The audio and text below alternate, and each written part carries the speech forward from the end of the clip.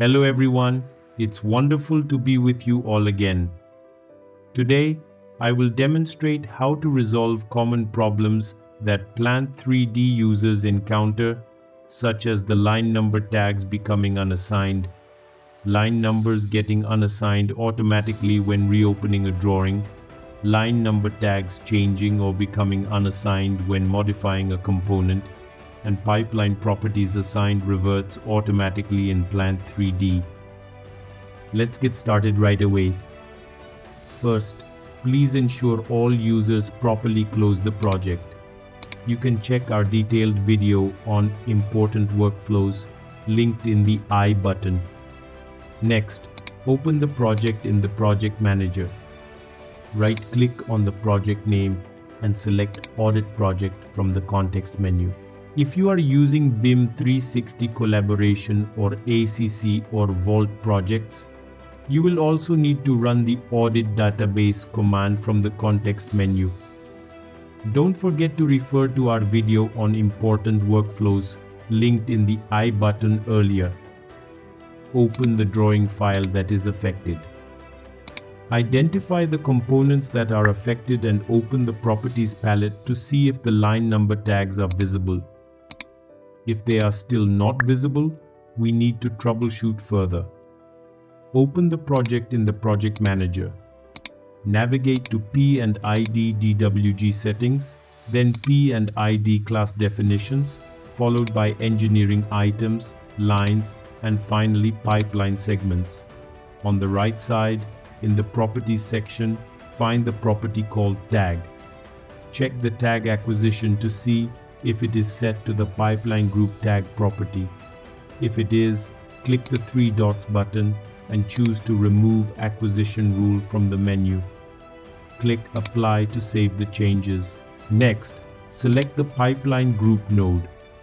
Again, in the properties section on the right, find the tag property. Check the tag acquisition to see if it is set to the pipeline segments tag property. If it is, click the three dots button and select Remove Acquisition Rule from the menu. Click Apply to save the changes. Now, go to Plant 3D DWG settings, then Plant 3D class definitions, followed by Piping and Equipment, and then Pipe Run component. On the right side, in the Properties section, find the Tag property. Check the tag acquisition to see if it is set to the P3D line group tag property. If it is, click the three dots button and select Remove Acquisition Rule from the menu. Click Apply to save the changes. Next, select the P3D line group node. In the Properties section on the right, find the Tag property. Check the tag acquisition to see if it is set to the pipe run component tag property. If it is, click the three dots button and select Remove Acquisition Rule from the menu. Click Apply to save the changes.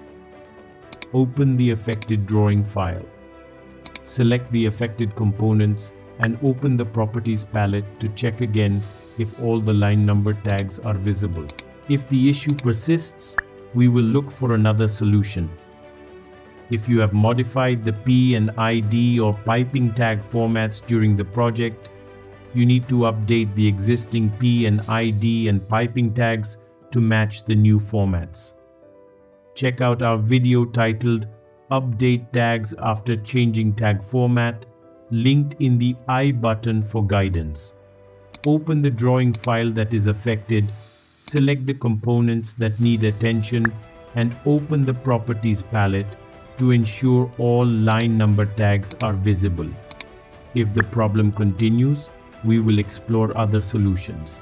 Check if you have installed any third-party apps such as Auxalia's PlantLink.